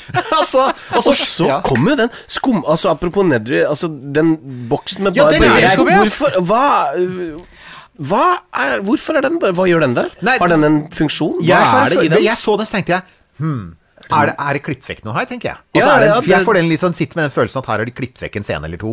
For at det, det er helt tydelig at et eller annet skal trigges her, og ja. Jeg tror det, jeg tror det bare er et, bare et blunk, jeg. Et forsøk, et, et blunk til oss som Ja, men hvorfor, er- hvorfor er det viktig for han å ta med den boksen ut? Nei, det Nei. Er det jo nostalgi fra Nei. Nei, men det er jo så mye som ikke Det brukes jo der. Det er ingenting det som du sier, de altså, trigger er noen nostalgigreier. Og så, Det er ikke vist at det er noe inni der? Nei. Nei, vi vet Merkelig ikke. Vi får se når det kommer spesial Directors Cut på fire Ja, timer. pluss- kommer på DVD. Det kommer det, og så kommer det alltid massevis av YouTube-analyser. Dem, For noen av dem kan være ganske treffende. Og de, kan, de er ofte ganske flinke til å fange opp nettopp dette med inkonsistenser, og, Ja. og, og, og særlig med sloppy writing. Altså slurvete, slurvete Ja, hvor sånn- skal man begynne? Manus, altså som komitéarbeid, hvor du igjen tenker at her er det vært noen føringer, og, og, og kanskje hadde de opprinnelig et godt manus, og så ble det bare sånn Nei, men vi må legge til litt her og litt her og litt her, Ja, og så plutselig sitter du der- med en sånn derre Altså Når du ender opp hva- Den er på to og en halv, var den ikke det? To og en halv time cirka? Ja, to og en halv. Ja, med rulletekst. Men altså, to og en halv time Da har du et ganske Altså, Da er manuset ditt ganske tykt. Det er ganske tykt. Og Det er mye da, greier som skal inn der. Det er det. Og- Og hvis det da ikke Hvis det ikke finnes en sånn derre Å, vi legger til Altså, altså Det som gjør at du bryr deg om disse menneskene i de første filmene, er jo at, det, du, at de får tid til å være mennesker. Ja. Og det, altså, Med det samme Chris Pratt dukket opp i dette universet Jeg tuller ikke. Og, og, jeg bare tenkte Nei, jeg tror ikke på deg et eneste sekund at du er en dinosaur whisperer. Det er, jeg tror ikke på det. Og at det plutselig du har fått en sånn derre eh, emosjonell kontakt med eh, Blue. Nei, fuck off med det der. Der kan ikke du være redd dem sånn som alle andre. Ja. Det er, det er jo det som Men- men- gjør har- føles sjuhorned, eh, rett og slett. Ja, i den filmen Og du har jo også en sånn annen ting som er typisk for dårlige historier. Det vet jeg, for jeg har skrevet noen dårlige historier selv. Og det er når du har, når du har for mye transportetapper. Det er én transportetappe for mye der, og det er Malta. Og det er sånn, de, de, er, de drar til Malta. Jeg har vært på Malta. Det er et hyggelig sted. Det er et interessant øy, blant annet fordi at det er en europeisk øy med en britisk kolonibakgrunn som samtidig har veldig mye arabisk influens. Så du får Midtøsten-følelsen på Malta. Og det er det de gjør. Det er helt tydelig at det de gjør. De skaper det der stedet hvor du har sånne kamper med dinosaurer og massevis av skumle skjeggete menn, men de er ikke muslimer, så du slipper hele den greia der. Ja, men det er litt den første for. Liksom. De skal egentlig skape en slags sånn basarfølelse. Litt som basarene i Indiana Jones, Indiana Jones, men ja. mye mer politisk korrekt, for ingen kan komme og ta dem i ettertid og si eh, ikke sant, 'Å ja, hvorfor gjorde dere det?' Men samtidig så er det Hovedhandlingen foregår i Dolomittene. Og så har de vært en tur innom Texas, og så er de en tur Og så tenker jeg sånn Bang, bang, bang. Og de hopper rundt, og så tenker du det lange mellomspillet på Malta som det, Ja, det er den fine actionscener der, men de scenene kunne like gjerne vært tatt i Dolomittene, som er i Nord-Italia. Ja, ja. Og de samme typene med byer med sånne der bratte gater og motor, veldig motorsykkelvennlige gater for raptorer og, og sånn. Ja, ja, ja. Dette kunne du ha gjort der, men av en eller annen grunn så velger de da å legge inn en sånn derre ekstra halvtimes etappe. Jeg lurer på om det har noe med finansieringen å gjøre. skjønner du? Fordi Tom Cruise gjør jo det samme med både Ja. Mission Impossible-filmene og eh, Ja, never Ja. mind, nå husker jeg. Men altså Mission Impossible særlig. Uh, hvor, som blir spilt inn litt overalt i hele verden. Ja. Selv om det ikke er nødvendig. Du kunne like gjerne gjort det på et soundstage i, Ja. i, i Det er den intensivordningen som diskuteres. Nemlig. At du får oh, ja, kanskje Malta har hatt noe, ja. Det er et godt poeng. sant? At du får sånn Hei, dere får to milliarder hvis dere gidder å komme hit, liksom. Og så bare sånn, ja, vi får Og det funka jo, fordi Andreas Vi skal reise til Malta. Han har så lyst til å reise til Malta. Syns det så så fint ut. jeg bare si, det, det, Men det. Andrea, det altså jeg vil, Andreas kan jeg ikke stole på. Andreas er kjæresten til uh, Ja, min samboer. Jeg stoler ikke på ham! Fordi han syns at Chris Pratt er kjekk! Han ville, han ville kan sittet si- der to timer til. Han, bare sett på Chris Pratt. at, se eh, på jeg Chris kan bare Pratt. si at jeg har Malta er veldig hyggelig, og hvis de fremdeles har de gamle gule bussene sine, så er de fine. Og da er et sted med masse katter, og det er mye god mat. Andreas og, elsker katter, Ja, så men du da stoler kommer på han, ja, det, det, det, det, han kommer til å kose seg. Men jeg kan love deg at det blir ikke så mye gatejakter med raptorer. Det gjør det Nei, ikke. men det der er er for øvrig det verste med Malta, er ifølge den filmen der, det er altså laserraptorer! Laser Laser Raptors, ja ja. Sharks with lasers er jo sånn der meme, ikke sant? Det er, sånn, ja, det er jo det. Sånn, vær Ja, så snill. får, kanskje det er videreutviklingen av denne franchisen her, da, er uh, uh, uh, Shark Tornado eh, Dino Sharknado. Ja, For, for, det er et eller annet med Ja, men altså, der, der har de liksom Du har. Jaws, ikke sant? Du har Jaws, og så har du Sharknado. Og, og da vet du Ja, det er der det slutter, ikke sant? Du Ja, starter med Jaws, som Det er som er så innmari trist med den filmen her, det er at den er, den er nesten Den er nær Sharknado i forhold til Jaws i forhold til første film. Det er det jeg tenker. Den er nærmere Sharknado, faktisk. Ja, enn Jaws. Ja, ja, ja. Åh, med lasere. Jeg er så for. Men er vi for, er vi for ehm, Altså, øh, det, drømmen er jo at det, skal finnes dinosaurer på ordentlig. Det hadde vært helt vidunderlig å kunne gjøre det. Er vi for, um, Ja. for sånn bio... Ja, nei, det er det, da. Eh, Det, er jo, det, det var jo en periode Jeg husker jeg skrev om dette en periode. Det var jo en, en stund hvor de var veldig opptatt av dette, blant annet i i Russland, før de fant på andre ting. Eh, og det var å gjenskape istidsfaunaen faktisk på steppene i Sibir. Yes. Og det var et klimatiltak, og det, det var jo noe i det. For som de sa, når mammutene forsvant, og kjempeneshornene og disse her, så, og, og, og kjempebjørnene, så, så skjedde det noe med klimaet og miljøet, og at det kunne vært en fordel. Da ser jeg jo det helt klart for, klart for meg. Um, det jeg også ser, er at jeg tror jo ikke problemet, fra, fra et sånn faglig synspunkt som mange har påpekt De er veldig glad i å vise Det er en sånn ting som går igjen i alle Jurassic Park-filmene, er at det er usedvanlig mange kjøttetere i forhold til planteetere. Ja, det det. I den virkelige naturen så er det liksom sånn det er én, og så er det 100, ikke sant? Én løve og 100 gaseller. Og her er det noe sånn som 50 løver og 50 gaseller, og, og de spiser to-tre gaseller hver dag, og ingen veit egentlig helt hvor de andre kommer fra. Men det er, det er Og i den virkelig naturen så er ikke dyr eh, Altså, alle dyr vil jo prøve i det lengste å unngå konfrontasjon, for det er farlig. ikke Det vil de også, ikke sant? Så det er, det er, veldig, mye- det er veldig mye som blir veldig rart Det er veldig mye som blir veldig rart der, og, og, og som da også eh, biologer og naturvernere har påpekt, er det noen som helst slags tvil om at de der kjempeøglene vil blitt skutt rett ut av himmelen? Hallo, Tom Cruise kommer med sin F-18 og bare pang, pang, pang, pang, ikke sant? Da tar dem jo ned med en gang. De vil liksom så, Å ha en stor, veldig treg fyr med, fugl med sånn lærhudvinger, én rift, så styrter den, ikke sant? Nei, den klarer vi ikke å ta, nå må vi bare nå, Vi kapitulerer. Sånn, sånn, sånn. La oss ringe Chris Ja, ja, ja, ja. I welcome our dino overlords, ikke sant? Det er sånn totalt Så jeg, jeg, det er noe der som er Det er noe der som er litt sånn Som gjør jeg tenker at eh, hovedproblemet er vel at hvis vi noen skulle sinne skulle ha klart det så ville vel noen veldig fort ha funnet ut å, å, en måte å lage burger av dem på, eller altså et eller annet er det jeg tenker. Så, så den eneste Problemet er vel det motsatte, at vi er i ferd med å utrydde de rovdyrene vi faktisk Ja, og, og det er, en, det er faktisk et sånn et lite, lite glimt i den uh, Dominion-filmen, så er det det derre svartemarkedet for dinosaurer, og dinosaurkamper, og at de helt tydelig driver og selger dinosaurer for sånn, sånn breeding, meat, altså sånne ting. Det er faktisk, det kan jeg se for meg. Og, og den eneste typen dinosaur jeg kan se for meg ville bli en fare, er en dinosaur som er liten og formerer seg veldig fort, for det er som typ Ja. kaniner, ikke sant? Det tror jeg. Men altså, en som veier sånn 15 tonn, og som, som og det, er, det er altså den der scenen på Malta hvor du har to raptorer som løper i en halvtime i 90 km i timen. Ja, ja, selvfølgelig. og da, det raskeste dyret på kloden, geparden, klarer det i ti sekunder. Ikke sant? Nei, nei, de løper inn i sånn fremdeles løp, løp, løp, løp, løp, løp, løp, ikke sant? Og da får du den samme igjen med sånn suspension of disbelief. Hvor det er sånn det er noen greier der. Du, du ser aldri noen PC. Altså, det er vår alles kjære Brus, ikke sant? Det er igjen noe av det mest briljante Ja. med Die Hard 1.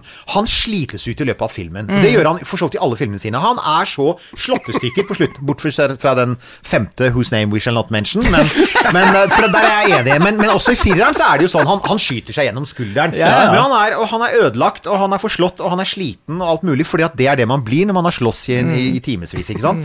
Og her er sånn Chris Pratt han er jo sånn like elegant. Jeg Det, er ikke, det er ikke et svettedråpe på hans Nei. panne, og han er nettopp blitt jaget av to laser! Laserraptorer! Altså til og med, til og med altså, ungene i, i den første Jurassic Park, når de har, altså, kommer tilbake igjen til uh, hovedkvarteret og er bare så Ja, slitne Ja, fått strøm, Ja, får strøm, er nesten litt sånn Ja, ja. Ja, det var en sånn callback de hadde. Er du klar du, Vet du hvor høy strøm det var i gjerdet på Ja, dø. Så du filmen, eller? Men der var jo også Også Laura Dern og, og, og, og Sam Neill var slitne Møkkete, ja. Som du det var, ikke sant? De har vært Ja. ute i naturen. Og det er jo et veldig viktig Det er jo kanskje det, Jeg syns jo det er det Altså fra en sånn der, sånn naturviterperspektiv, det er mange interessante ting.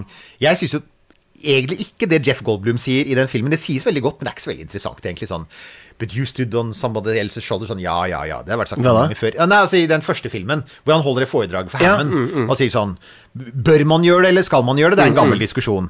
Men så er det det Det er faktisk det som dr. Grant sier når jeg er ute i, i jungelen og jaktes på dinosaurer, og ungene er liksom sånn hva er dette? Hvorfor skjer det? sier jeg. Altså, og, og de forferdelige dinosaurene de, de er bare dyr, sier han. De, de gjør bare det vi gjør. Og nå er det vi som blir jaktet på. Og den, der, den greia der må ta oss tilbake til en tid da menneskene rett og slett var åtsel, ikke sant? Altså var byttedyr Ja, ja. kjøttetere. Det er faktisk en innmari interessant tanke, og den gjøres jo kjempebra i Apropos, apropos kjøttetere. Vi har en kjøtteter her. er en ulv eh, Det er en ulv bak her. er Bare, bare kremte litt. Nå går det bra. Det gikk bra. Det gikk bra. Ja, nei, altså, jeg har, eh, jeg har Men hva slags Skal vi, skal vi lage en, eh, eh, en oppsummering, da? Vi kan jo ikke si at folk ikke skal se den. For det kan vi Nei, for den er jo underholdende. Jeg koste meg, lo, hadde faktisk litt puls. Og puls er Da, ble jeg glad. Jeg ble også eh, dratt inn i det på et eh, tidspunkt. Ja. Så jeg, jeg følte at jeg liksom glemte tid og sted. Det er ikke verst. Og det var ikke Chris Pratt sin feil. Jeg vet ikke det var, det hva det var. Kanskje skrekkelementene.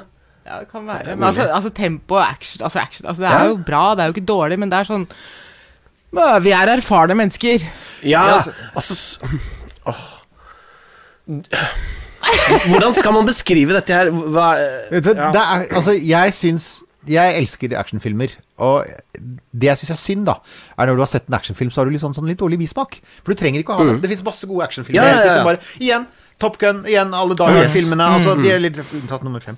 Uh, men de har, de har det du sitter og sier Jo, ok, men det var en pur actionfilm. Ikke sant? Eh, og det- blir glad. Mission Impossible. Ja, Ja, du blir i godt humør. Yeah. Den gjør det den skal gjøre. Mm. Den leverer akkurat Det er det med at Hollywood leverer nøyaktig det de sier at de Mm. skal levere, og det er en innmari deilig følelse. Når Hollywood sier 'nå skal vi gi deg to timer med moro', og de gjør det, så er det, er det jo Det er jo helt strålende. Så jeg syns eh, Så, så jeg, man sitter jo der da med en bøtte med sprettmais med flavakol på. eh, og, Men er det fordi at det er så mye sjuhorning Altså at, det, at det, den derre Laura Dern og Sam Neill-greia Altså hele den Men- nostalgitrippen der Nei, men jeg, er jeg, har, altså jeg har jo lest så mange artikler i det siste om dette her med hvordan hele kulturbransjen i USA, musikkliv, bokbransjen, men ikke minst Ja. filmbransjen, TV, streaming, Netflix, alt sammen, nå er blitt ikke bare algoritmestyrt, men det er jo sånn hedgefund som kommer inn. Ja. Det er veldig mye sånn economic management. Star Wars er det mest groteske eksempelet på det, som er sånn hvordan kan du maksimere profitten ut av hver episode, og så ser du hvor mye forrige tjente, og så, så, så, så tilpasser du den neste for å få litt ekstra ut. Og det er litt den følelsen jeg sitter med her, med at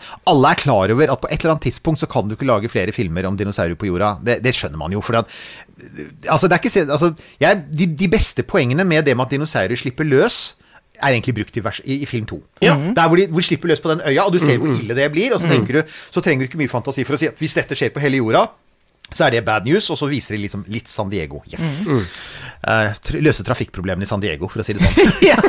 plutselig sånn Alle kjører plutselig i samme retning. Ja, de gjør det. Men uh, den, scenen med, den scenen med hundehuset er også helt fantastisk. Det er sånn derre Ja. Men så er det sånn, sånn hoster ut sånn. Liksom. Ja, og også den lille gutten som bare våkner Altså, Ja, ja, og at dinosauren går forbi vinduet Den er så bra! Men det, er, det, sier. helt ja, men det er en nydelig scene. Det er som du sier, den filmen har noen praktfulle scener Ja. som er akkurat der. Og også den med han Det der er litt King Kong over det. Altså, det Og også Det med han derre til han, hver eh, eneste japanske uh, skrekk- og katastrofe Og så er det vel eh, Er det, er det Petter Stormare som blir spist av smådinosaurer? Ja, ja, ja, Og der er det samme igjen med sånn der, bare blodet som renner nedover. Ja, Det er- så det, du har fremdeles det grepet på den, men så tenker jeg også at på mange måter så de brant veldig mye av potensialet i det universet i de to første filmene. Og skulle du og i film tre viser det, for at de bare klarer ikke å gjøre noe annet enn å gjøre en veldig dårlig versjon av det som har vært tidligere. tidligere og så prøver de å reboote det. Ja, okay. altså, tingen er vel at det, det de gjør er Ok, hvilke dyr har vi ikke hatt nå? Ja. Hvilke versjoner? Hva kan vi gjøre? Hvordan kombinerer vi mm, flyvende med Svømmende Ja. med Og da er løsningen bigger. Ja. Og det sier de også henviser Ja, og så innser du også selvfølgelig at i det øyeblikk Always have to make it bigger. ja, ja, men så innser du også at i det øyeblikk dinosaurene sprer seg utover jorda, så blir det et spørsmål om viltforvaltning, og det er bra filmmateriale, det. Veldig bra. Jesus. Da får du rovdyrdebatten igjen, takk for det! Nå med raptorer. Det skal være 20 raptorer i Norge, nei, det skal være 25. Raptorer tar sau. ja, Hvis vi hadde hatt laserulv, så det kanskje Laser, vært ja, jeg er for det. Laserulv hadde vært helt nydelig. Laserulv, sånn- lasersau. Ja, du må bare blinke ut hva ulven skal spise. Er perfekt. Mm. Lasersau hadde vært veldig gøy. Livsfarlig. Noen satte seg rundt omkring, og så Ja, for det er det, er det, som, det som dreper den Det er det som tar livet av, av, eh, av Star Wars, altså når, når de begynner på prequelsene, er at det åpner jo med Stortinget 24. Det åpner jo med han. Det er handelsforhandlinger! Det er sånn. Og så, ja, nei, vi vil ha 3, 3 mer på mangan. Nei, nei, men Og så sånn. Og, og det er sånn Det er noen karer her med lasersverd, kan ikke de begynne å slåss snart? Og så mun, mun, mun, par roboter, og så går de videre. Og så er vi tilbake til forhandlingene. Og, og, så, og så er det parlamentet. Oh, og det eneste, det eneste, med det, det eneste tingen du liker ved de parlamentsscenene, er den lille klippet hvor du har de fra eh, em, ET-planeten. Ja, For der, der sitter ET og sier ja, det er sånn, Å ja, å gudskjelov, endelig! Blessed relief. Det er sånn. Jeg vet. Det har alltid forundret meg. Altså At de rett og slett kjører eh, Politikk. EU, Strasbourg, Brussel Ja, totalt. Og det, er, det, er, og, det er, og det er akkurat så spennende som ja, men, det, men er ikke det at, at, uh, at uh, George Lucas hadde alle pengene på hele kloden?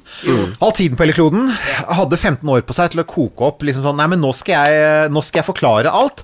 Og så, så skjønner jeg det jo også på en måte, for at det er, det er Ringenes herre før Hobbiten. ikke sant? Altså På en måte så er det sånn sier Ja, nå skal vi nå skal vi på en måte forklare dette svære universet. Vi skal forklare alt som skjedde.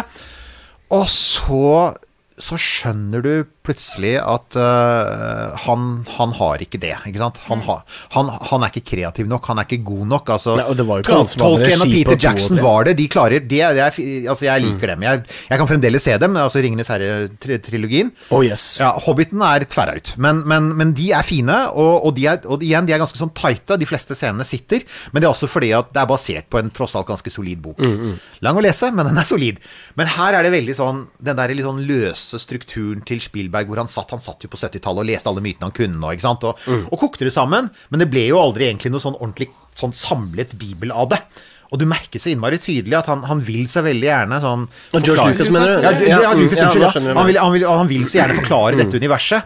Og det er da Men det er jo det han kan. Altså Bygge den verden er jo det George Lucas Men, men å regissere, regis- regissere en film Ja, og, Det er der, jo det der, som da er kommer du tilbake til det med å bygge verdener på en troverdig måte. Og verdensbygging er en, det er en kjempevanskelig ting. Han hadde Altså, bare regi på den første. Der har du Altså, ta, ta Ja, han hatet det jo. Ja, Han måtte jo forholde seg til mennesker. Han Ja, var ja, sånn, ja. ja, Ja, ja. Det, det, det var Liam Neeson, tror jeg, som sa det, at det eneste regien hun fikk av George Lucas, var more, more. Fast, faster, fast. Ja, men altså, du, du ser det også. Jeg ser, hver eneste scene med Liam Neeson i den filmen er sånn I regret my life choices. Det er sånn kan, Når er dette over? Kan jeg snart bare gå og ta en drink? Det er så trist å se. Og alle er- scenene var egentlig bare ment å skulle være i en sofa. Altså Folk som sitter i en sofa og snakker med hverandre. Men, der, men, der, men, men igjen så har du det med at det, det gode manus og den gode regissøren henter det beste ut av skuespillerne. Og du ser jo hvordan også Sam Neill, som også er en glimrende skuespiller, har gjort så mye bra. Jeg elsker jo den skuespilleren. Og også han er jo tragisk underbrukt altså, i, denne, i denne siste filmen. Og Ja, det er jo også Og Laura Dern kan det, hun òg! Men det er bare du, du ser jo at de har et dårlig manus, og de har en slapp regissør. Ja, så da blir de dårlige, da. De står jo der, og du ser jo du, Igjen, Sam Neill er sånn Jeg har barn på kostskole, og jeg har, han driver gård på New Zealand, og antagelig har det vært lekkasje som det har vært hjemme hos oss. Og da trenger du det. ikke sant? Hvis ikke du har betalt forsikringa di, så trenger du det. Så jeg er med her, jeg, for å, for å få lagt parkett på liksom. stua. Det er det er den følelsen du får, altså.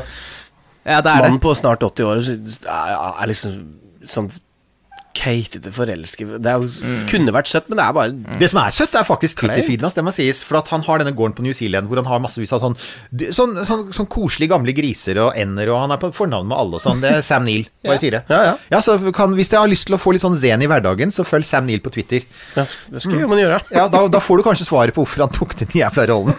Ja, Svine, ha, svinepest. måtte ha fôr. Ja, metafor. Ja. Men um... Hva husker vi fra den filmen, da? Hva vi husker Laura Dern driver og kliner med en fyr som ser ut som uh, som, har- som har på seg Indiana Jones-kostyme. Ja, det, det, det var det, det, er, det er hun ikke første som vil, da. Nei, det er sant. Er, Nei, eh, hva er det da? Altså, jeg yes, hmm. Jeg, jeg moret meg over eh, Men det var Altså, jeg vet ikke om det er en positiv ting, men jeg moret meg over eh, biljakten eh, med uh, Motorsykkeljakten. Ja. Mission Impossible-kopien, liksom. James Bond-kopien med raptorer og motorsykkel. ja, var den, ganske kløktig. den, den, den funker. Den gjør det. Det var gøy. Det var det. Ja.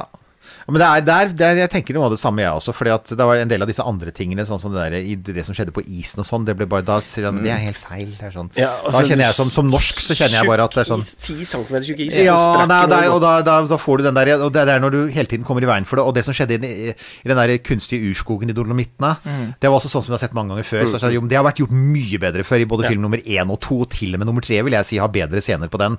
Du har en scene i nummer tre hvor med han gutten som bor i den tanken ute i skogen. Ja. Altså, den er faktisk ganske god. Det er omtrent der det stopper. Men, men, men selv ikke det når den opp til. Så jeg er enig i den derre eh, Å få det inn i et bymessig miljø, få opp farta. Bli kvitt de jævla gresshoppene. Og så komme tilbake til poenget. Så, så ja.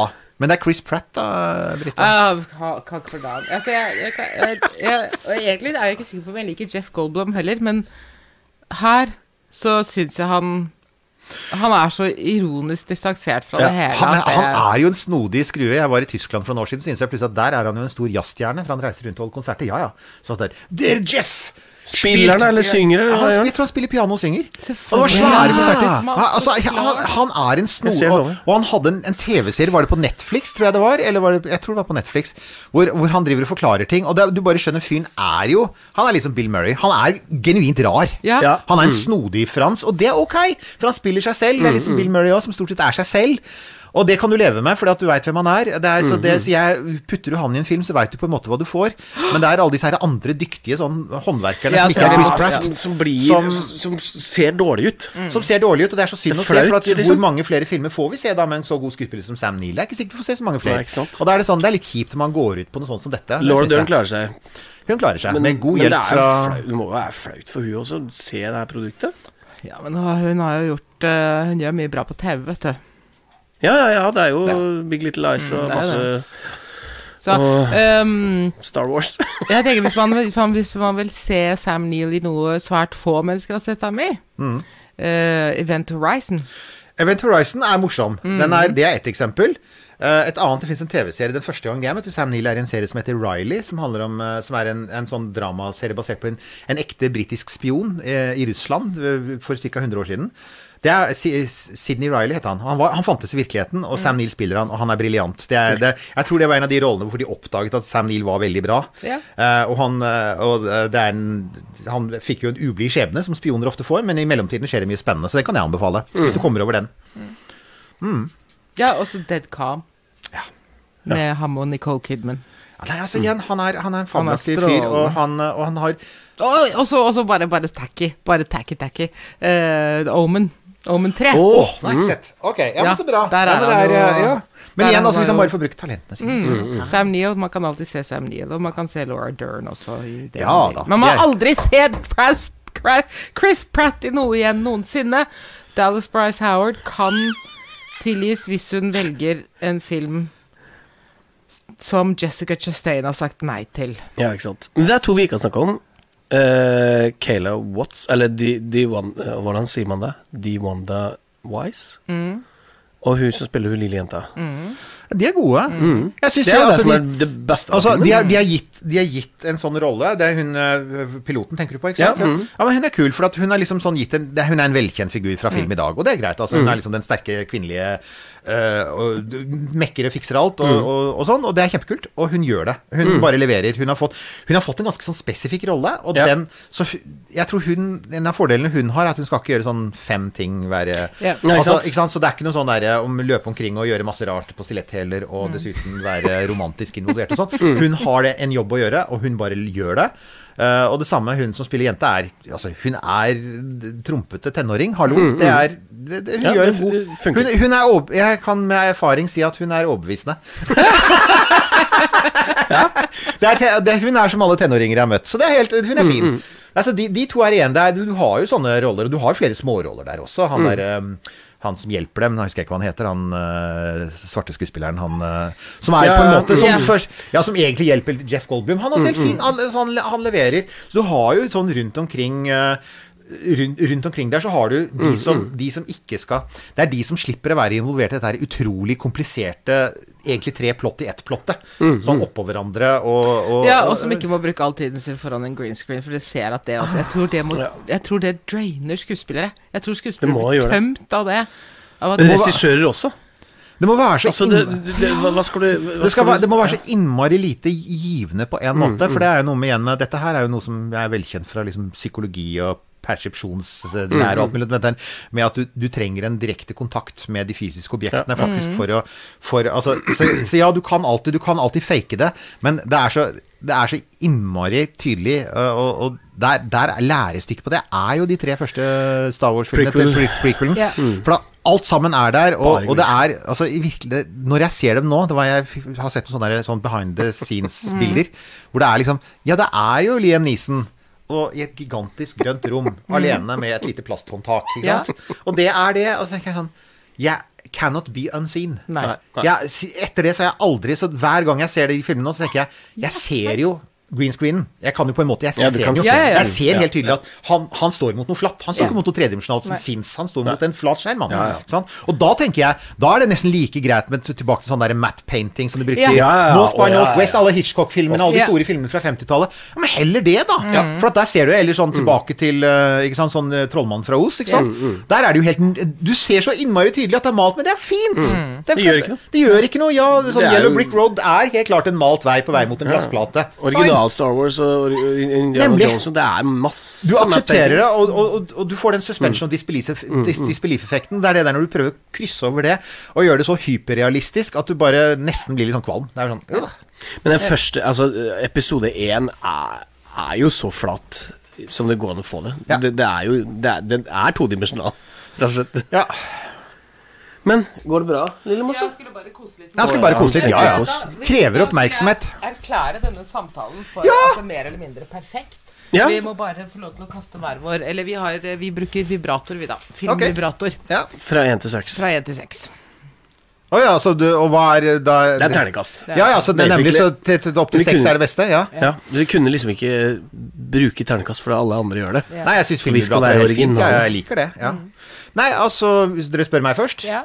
Ja, nei, eh, denne her er en solid toer. En solid toer, ja. Wow. Ok. Ja. Da, så grim er vel ikke jeg. jeg, tror, jeg skal, tre, sier jeg. En strålende likegyldig tre. En likegyldig treer. Ja. Ja, Jeg, jeg må jo Altså, jeg, jeg Altså, når jeg gikk ut av kinosalen, så var jeg så fornøyd. Jeg var så happy eh, og underholdt. underholdt eh, før jeg begynte å tenke, tenke på alt som skurra. Men, alt, men der og da så lot jeg det gå. Så jeg var på en femmer, da, men, men eh, jeg kan jo ikke med skam å melde gi den filmen her femmer. Det går jo faktisk ikke an. Nei. Så det ble en firer. Ja. Fire. Ja, men da gjennomsnitt tre, da. Ja, gjennomsnitt tre. Ja, er ja. Jeg kan, jeg, kan, jeg kan leve med det. Det er jo Altså. Jeg vil jo Du må jo gå sen. ja. altså jeg tenker Liksom, at det hvis du er sånn en at styr unna. Nei, men altså hvis du er en familie Eller hvis du er en person da som, som har lyst til å gå på kino, og kino koster litt penger. Det er let's face it. Kino er blitt ganske dyrt. Uh, og, og prisene stiger og sånn. Og hvis du skal velge, da vil jeg si at da finnes nok helt klart andre filmer jeg ville sagt du går og ser før. I men, aller eh, høyeste men, grad. eh, Som eksempel den siste Tom Cruise-filmen, som er helt nydelig. Altså, det, det, vi har jo ikke snakka om den, men jeg antar at Ja. dere har gjort det allerede. ja. Nei, men det Ja, det er, så det er, da vil jeg si at hvis du liksom har et valg på din lokale kino og sier ja, skal jeg gå og se denne, eller skal jeg gå og se f.eks. den, da. Eller for den saks skyld Dr. Strange, eh, den siste Dr. Strange, som jeg også, den, hadde, den koste jeg meg med. Absolutt. For den, den, den var akkurat så vill med hele universet som den skal være, og der, der kjøper du det, for at det er helt crazy. Og Everything Everywhere All At Once. Den har ikke jeg sett ennå, men det sier du er veldig Oi, bra. oi, oi. Ja, men den er, da skal jeg se den. Vi skal samtale om den neste gang, vi. Spennende. Den må gjerne bli med. Ja, gjerne. Si fra, jeg kommer, jeg. Ja, Ja, ja. det Ja, men da gjør vi det. altså, den, eh, den, eh, den har jeg lyst til å snakke med deg om, for å si det sånn. Ja, men da kan vi si det, da. Da har vi en avtale. Ok, da prøver vi å få til det. Ja, For det jeg, jeg skal se det en gang til, for at eh, hodet mitt kokte over. Er Samme følelsen. Ja. Ok. Nå er jeg du- spent Nå smiler Brita. Brita er veldig blid, og det er et Ja, det er et veldig godt tegn. godt tegn ja, ja, ja. Nei, men alt jeg har hørt fra folk som har sett den, sier det må du se, så det er bare litt sånn eh, sommel fra min side. Og det er ikke sånn at det gjør noe om du har høye Det er derfor jeg snakker så mye om parkett, så det er derfor jeg ikke har sett den. Og det gjør ikke noe om du har høye forventninger heller. Nei. Nei, så Det vil innfri. Ja, altså, det er, det er Ja, det er en sam men det er en egen samtale. Nei, men det, er, jo, er men det, er jo, det er jo ikke noe bedre enn det. Det er den der igjen Du har de forventningene. Du, Mm. går, du, du går inn på kinoen. Det er et apparat der ute som du veit kan levere. Og når Ja. de da leverer, så er det så deilig. Det er, den, det er en utrolig god følelse. Mm. Jeg får gåsehud. Det er en av de beste. Og så er det helt, kalor så er det helt kalorifritt. Det er det også! Bortsett fra flavorkål og, og spredt mais. Eirik Knut, Herlig. tusen takk for at du kom, og fortsett med det enestående arbeidet med romkapsel. Takk for det, det skal jeg gjøre. Mm. Holder dere på hele sommer? Du, vi har I sommer så har vi gjort en litt sånn spesialvri. Vi, har, vi, har, vi oppdaget jo at folk liker faktisk å høre på podkast om sommeren òg. Eh, så vi fant ut at eh, med tanke på hvor mange som kommer til å stå fast i køer og ikke kunne komme seg av gårde, så har vi lagd eh, sju episoder om eh, diverse space-reisemål. Ah, der er det mye rart. Der, og der, ja, det er Så det blir hele sommeren? så det blir eh, episoder hver eneste uke hele sommer, hvor det nytt reisemål. Annet tre hele, tre hele episoder er jo viet USA aleine, for at det er jo Ja, så mye å se i Amerika at du kan bli gal. Det, er, det, det er med space med filmhistorie. Altså, du kan bruke et helt liv bare på å reise rundt. Så. Mm. Ja. Så kult. Yep. Da skal vi høre på Romkassel, og det håper vi alle andre gjør også. Jeg har hørt hver eneste episode. Ja, men så bra. Og da Bortsett skal jeg, siste, den skal jeg høre på etterpå. skal jeg pushe denne her hardt. Så Som jeg fortjener. Hjertelig. Tusen takk, Eirik, for at du kom. Takk, takk. Knut Anders, vi uh, høres Vi gjør det. senere. Vi gjør det. Ja. Nydelig. Happy Herlig. Pride! Happy Pride. Happy pride! I got a bad feeling about this. Seems we have intercepted a transmission of unknown origin. Human. Unknown.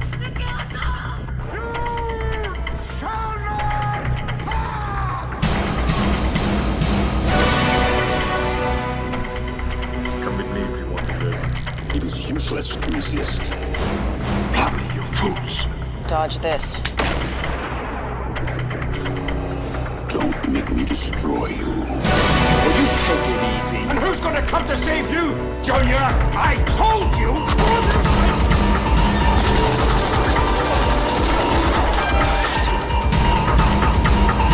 Don't call me Junior. Guten Tag, Herr Jones. No.